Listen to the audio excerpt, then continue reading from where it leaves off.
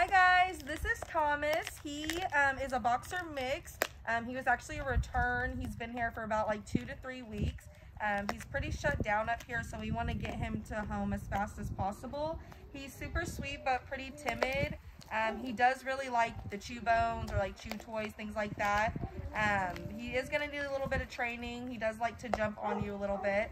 Um, but if you guys are interested in him, you go to bellaspca.org.